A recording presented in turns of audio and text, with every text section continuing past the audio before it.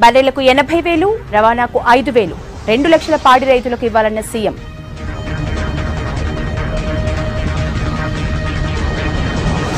ఎన్నికలకు ముందే రామాలయం పనులు రాష్ట్ర బీజేపీ నేతలకు అమిత్ షా పాఠాలు.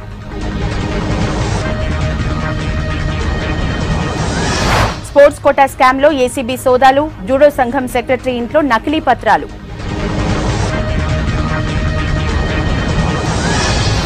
డ్రెడ్జింగ్ సంస్థను ప్రైవేట్కి ఇవ్వట్లేదన్న గడ్కరీ విశాఖలో టీడీపీ బీజేపీ నేతల బల ప్రదర్శన.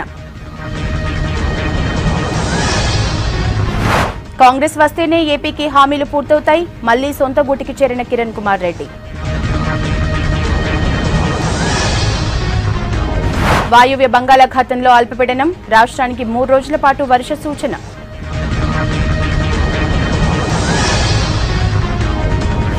ఉత్తరాది రాష్ట్రాల్లో దంచి కొడుతున్న వర్షాలు గుజరాత్ రాజస్థాన్లో భారీగా వరదలు. టీడీపీని చీలిస్తే మరింత మంది ఉగ్రవాదులు. బీజేపీ ప్రయత్నాలపై మెహబూబా వార్నింగ్.